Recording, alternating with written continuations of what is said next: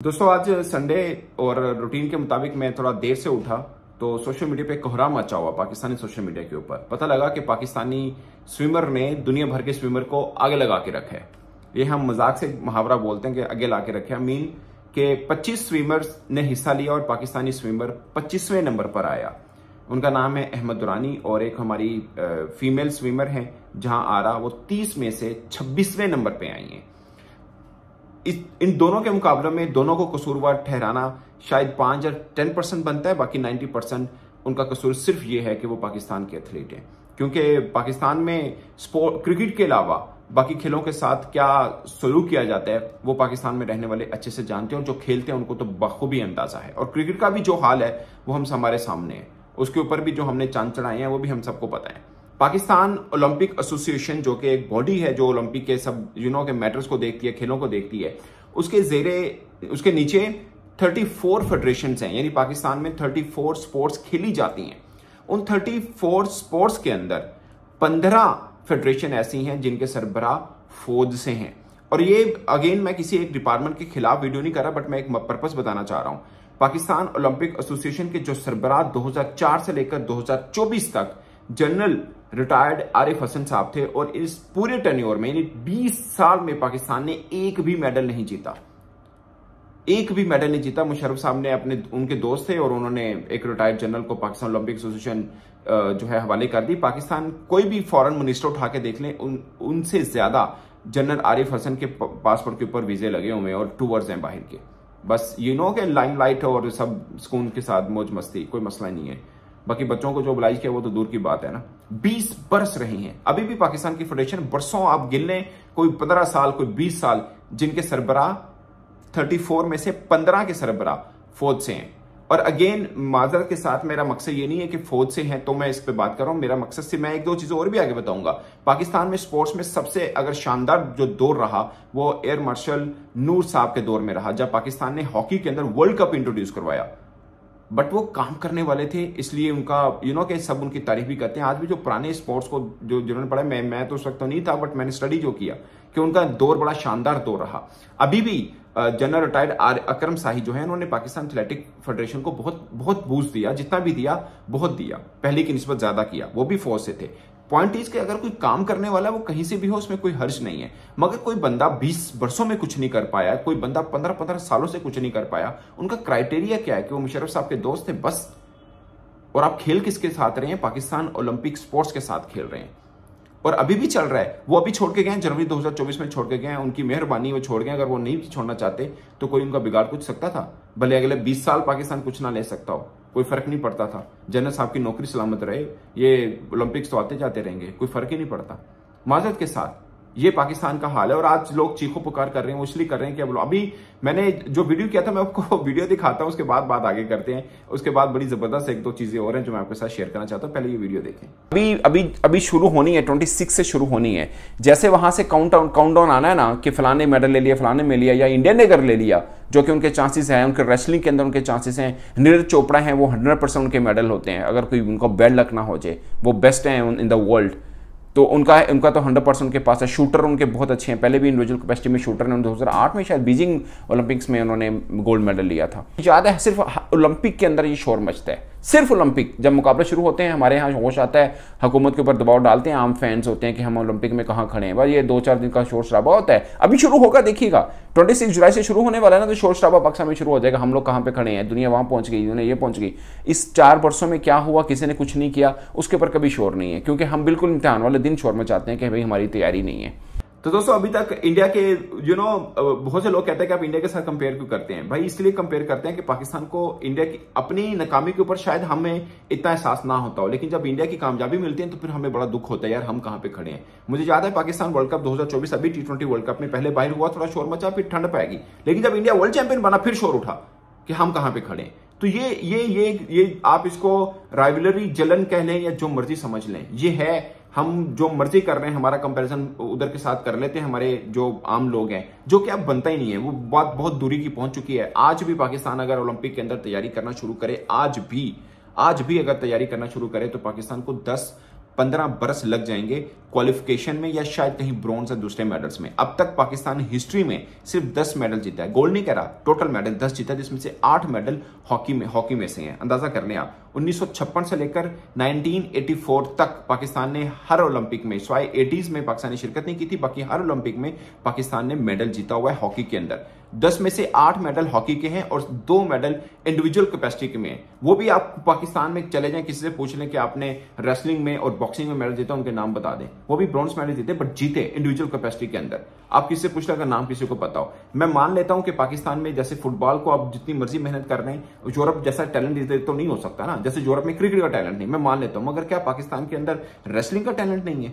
अब ये कहना चाह रहे हैं कि पाकिस्तान एथलेटिक्स में ऊपर नहीं आ सकता? क्या पाकिस्तान बॉक्सिंग में ऊपर नहीं आ सकता, जहाँ पे गली मोहल्ले कराची की गली के अंदर बॉक्सिंग लोग खेलते हैं। क्या उसमें नहीं आ सकता? बहुत से ऐसे खेल हैं जिसमें मैं मानता हूँ, अभी इंडिया में भी चले जाए तो उनके भी इतनी बड़ी आबादी में दस पंद्रह डिसिप्लिन के स्पोर्ट्स हैं जिसमें से वो मेडल की उम्मीद रखते हैं, जिसमें खासकर उनके एथलेटिक्स में आते हैं, उनके बॉक्सिंग में, उनकी रेसलिंग बहुत आगे है, उनकी बैडमिंटन में आगे हैं। वो वहाँ पे हैं। बट हम भी बैडमिंटन भी हमारे यहाँ बहुत खेलती क्या उसमें हम मेडल नहीं ला सकते? अगर आज हम तैयारी करें तो अगले पंद्रह बरस के बाद हम कम से कम क्वालिफिकेशन में तो आते हैं ना। हम एथलेटिक्स में स्प्रिंटर हमारे थोड़े बहुत बेहतर हैं बट अब हमारी जो स्प्रिंटर जो इस ओलंपिक्स में हिस्सा ले रही है। अच्छा सात में से एक बार याद रखिएगा चार ऐसे जो क्वालिफाई किए तीन वर्ल्ड कार्ड एंट्री पे गए हैं। वर्ल्ड कार्ड एंट्री जिन्होंने कहते हो तुम कि फेडरेशन जो इंटरनेशनल फेडरेशन है ना उन खे, उस खेल से रिलेटेड वो कहती हैं कि यार क्वालिफाई नहीं किया मगर इनको ओबलाइज करने के लिए आप प्लीज़ इनको यू नो के एक टोकन ऑफ़ लव समझ लें कि पार्टिसिपेट करने दें।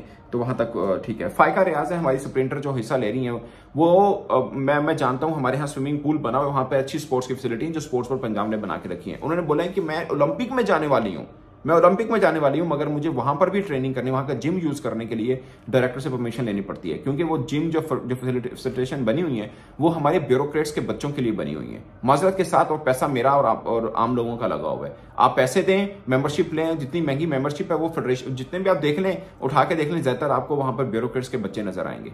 क्योंकि जनाब वो अफोर्ड ही वो कर सकते हैं और उनके लिए रास्ता भी आसान है। जो बच्ची जा रही है ओलंपिक में हिस्सा लेने के लिए, उसको बेचारी डायरेक्टर से होकर जाना पड़ता है कि, सर, मैं प्लीज़ ट्रेनिंग कर लूँ। यानी ये हाल है इस मुल्क का। और ऐसे ऐसे में आप समझे कि आप ओलंपिक में मेडल है, आप तो क्वालिफाई नहीं करेंगे। सात लोग हैं यार 25-30 करोड़ आबादी के मुल्क में से सिर्फ़ सात लोग हैं। और ये शोर अभी चार पाँच दिन मचेगा। चार पाँच दिन मचेगा ओलंपिक खत्म, खाता खत्म, अगले ओलंपिक में फिर शोर मचेगा। तो हुकूमत, आप माजरत के साथ, मैं अभी जब, अभी बात की कि हमारे फेडरेशन ओलंपिक के अंदर फौजी सरबरा एक जनरल थे। मतलब एक जनरल जो थे, उन्होंने बड़ा गर्क किया। माजरत के साथ माजत मैं इसलिए करता हूँ कि हमारे जो पाकिस्तान तहरीक इंसाफ के जो लोग हैं, वो गुस्सा कर देते हैं। मैं कोई पोलिटिकल स्टेटमेंट नहीं दे रहा, मगर हमारे प्राइम मिनिस्टर इमरान खान रहे। एक स्पोर्ट्समैन हमारे प्राइम मिनिस्टर बने और उस दौर में पाकिस्तान खेले, ज़्यादा नीचे गई। खासकर क्रिकेट ज़्यादा नीचे गई। आज किसी मर्ज़ी क्रिकेटर से आप उठा के पूछ लें। वो कहेंगे कि इमरान खान साहब की जो पॉलिसी थी, उसके वजह से हमारी क्रिकेट जो है, वो पीछे चले गई और तकरीबन पाँच छह साल पीछे गई। ये आप जिनसे मर्ज़ी पूछ लें। मैं अपनी तरफ़ से स्टेटमेंट नहीं दे रहा। और आप यकीन माने, मैं उससे किसी टीवी चैनल में काम करता था। एक, जब वो बिल्कुल इलेक्शन के करीब थे, मैं एक जगह पे कवर करने गया तो मैंने सोचा मैं क्रिकेट के ऊपर उनसे बात कर लूँगा। तो उनके इर्द गिर्द जो मशीर थे, उन्होंने मुझे रोका, कहते हैं, अपने स्पोर्ट्स के ऊपर बात नहीं करनी है। वो स्पोर्ट्स के ऊपर बात नहीं करते यकीन माने, ये प्राइम मिनिस्टर है। ठीक है और हम कहते हैं कि हमारा एक स्पोर्ट्समैन प्राइम मिनिस्टर बना और खेलने कुछ ऊपर जाएँगे। और हम, मज़ाक करते हैं कि ये चाय बेचने वाला जो है वो इंडिया का प्राइम मिनिस्टर बने। आप उसकी सोच देखें खेलो इंडिया के नाम से स्लोगन दिया उन्होंने। 900 करोड़ बजट रखा उन्होंने। खेलो इंडिया पाकिस्तान का कितने? तीस अरब रुपए। पाकिस्तान का टोटल बजट का पॉइंट ज़ीरो थ्री परसेंट बनता है जो खेलों के ऊपर आता है। ठीक है तो बात पॉइंट ये नहीं होती कि आप क्या है आपकी सोच क्या है और आप आपका विजन क्या है, वो होता है। हमारे यहाँ कोई भी हुक्मरान है, ये शरीफ फैमिली के ऊपर तो अभी हमारी वो प्राइम मिनिस्टर है, उन पर तो उम्मीद ही नहीं रख सकते ना, क्योंकि उनको तो स्पोर्ट्स का कुछ है ही नहीं ना। वो तो उनको पता भी नहीं होगा अच्छा ओलंपिक ये क्यों है? वो ये होगा, क्यों है? तो आप इनसे क्या उम्मीद रखें? मुझे उम्मीद थी इमरान खान पे कि एक स्पोर्ट्समैन आया, हमारी खेलों को ऊपर लेके गया। अनफॉर्चुनेटली उनको पूरे टाइम भी नहीं मिला, ये भी बात सच है। बट जितना मिला, उसमें भी स्पोर्ट्स के ऊपर कुछ खास नहीं हुआ। विद ड्यू रिस्पेक्ट मैं चूँकि स्पोर्ट्स रिपोर्टर हूँ, मैं सिर्फ़ इस परस्पेक्टिव में बात कर रहा हूँ, बाकी मैं पोलिटिकल नहीं करना चाह रहा, खुदा था वास्तव में उनका ना कर दिया। ये है दोस्तों एक पूरे का पूरा हमारा माहौल है। अभी मैं ये मानता हूँ कि पाकिस्तान में जहाँ पे रोटी के लाले पड़े हुए हैं वहाँ पर आप स्पोर्ट्स को मतलब बजट निकालना कोई आसान काम नहीं है। मगर एक सोच तो होती है एक, एक जो ना पॉलिसी तो होती है कितनी कंपनीज़ हैं पाकिस्तान के अंदर? उनको कहिए कि आप एक एक खेल पकड़ें और आप इसको इन्वेस्ट करें। मतलब उनके रिक्वेस्ट करें ऑफकोर्स आप उनको बदमाशी नहीं कर सकते। पाकिस्तान में कितनी पाकिस्तान की कंपनीज़ हैं, कितने इंडस्ट्रियल हैं, कितने यू नो स्टेट जो हैं, जो कर रही हैं, जो प्रॉपर्टी डीलर समझ लें आप बड़े लेवल के, मलिक रियाज टाइप के। आप मलिक रियाज साहब को दो स्पोर्ट्स दे दें, एक रेसलिंग दे दें, एक बैडमिंटन दे क्या वो उनको नहीं करेंगे फंड हंड्रेड परसेंट करेंगे। मगर कोई कहे तो तब है ना। मगर किसी का है ही नहीं इंटरेस्ट ही नहीं है। पॉइंट ये है, किसी का इंटरेस्ट नहीं है। बैंक्स हैं कितने। आई नो कि मार्केटिंग स्ट्रेटजी यही होती है, लोग क्रिकेट के ऊपर इसलिए इन्वेस्ट करते हैं, उनको लगता है कि कुछ पे बैक भी होगा। मगर ये दूसरी खेलों के ऊपर भी एज ए नेशनल ड्यूटी के तौर पर आप किसी को कह सकते हैं रिक्वेस्ट कर सकते हैं कि खुदारा इसके ऊपर कुछ करें। इंडिया ने भी पिछले पंद्रह पंद्रह, बीस साल से मेहनत की, उसके बाद आ जाकर कुछ थोड़ा सा चेहरा बना है वो भी जितना होना चाहिए था, उनका भी उसके यू नो के टेन परसेंट भी नहीं है, जितना उनको आगे होना चाहिए था। ये भी बात सच है। उनके पास पैसा है, उनके इतनी बड़ी आबादी का मुल्क है, ये भी कोई बड़ा नहीं है कि एक सौ सत्रह पता नहीं कितने एथलीट उनके जा रहे हैं, गए हुए हैं। ये भी कोई बड़ा यू नो कारनामा नहीं है। नहीं है, बिल्कुल नहीं है। बट चूँकि उन्होंने एक सफ़र तो शुरू किया एटलीस्ट इसलिए लोग उनको कहते हैं कि एटलीस्ट उन्होंने यू नो एक स्टार्ट तो लिया है। तो ये है। बट वहाँ पे बिजनेसमैन हैं, वो आते हैं और अब्लाइज करते हैं। उनके भी 900 करोड़ बजट है टोटल स्पोर्ट्स का ना। 900 करोड़ है, जिसमें से तकरीबन उनके सात करोड़ उन्होंने नीरज चोपड़ा के ऊपर इस ओलंपिक की तैयारी में लगाए हैं। बाकी उनकी जो बैडमिंटन की हैं रेसलिंग की, बैडमिंटन की फीमेल की बात कर रहा हूँ रेसलिंग की टेबल टेनिस बाकी जितने भी उन्होंने इंडिविजुअल रखे कि इस पर इतने इतने इतने पैसे लगेंगे ताकि ये जो है वो हमें कुछ ना कुछ दिला सकें। अभी ये मैं पढ़ रहा था एक जगह पर कि 900 करोड़ बजट भी उनका सिर्फ़ इसलिए है कि ओलंपिक तो अभी पड़ ही गया ना, अगस्त में ही आ गया। मतलब ये यू नो जुलाई अगस्त में ही ओलंपिक आ गया तो इसके लिए तैयारी करने के लिए पैसे नहीं चाहिए वो पिछले बजट के अंदर ही उनकी तैयारी हो चुकी थी। आगे कॉमनवेल्थ गेम्स और एशियन गेम्स हैं ज़्यादातर। तो ये है दोस्तों ये है सबके सब सीन कि उन्हें आ, मतलब आपको भी थोड़ा सीरियस होकर सोचना है आप अपने बिजनेसमैन को कहें आप जिनके पास थोड़ा पैसा उनको कहें कि आप हमारी स्पोर्ट्स को लेकर चलें। मगर यही बात मैं आपसे अगले ओलंपिक में भी कर रहा हूँ अगर ज़िंदगी रही तो कि फिर हम कोई मेडल नहीं, कोई क्वालिफिकेशन नहीं, कोई चक्कर नहीं, फिर रोना पिटना, फिर चार साल गुजर जाएँगे, फिर, क्योंकि पिछले तीन ओलंपिक तो मैंने भुगता दिए इसी तरह से। मैं जब टीवी पे करता था ओलंपिक आए, शोर मचा, खत्म। ओलंपिक आए, शोर मचा, खत्म।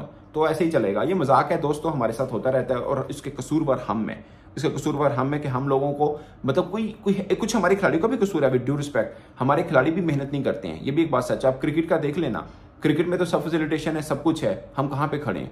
अब बड़ी टीमों को छह, मैं तो बड़ी टीमों छह में पाकिस्तान को नहीं देखता। जैसे आप देख लिए, इंग्लैंड है, ऑस्ट्रेलिया है, इंडिया है, साउथ अफ्रीका है, न्यूजीलैंड है, पाँच।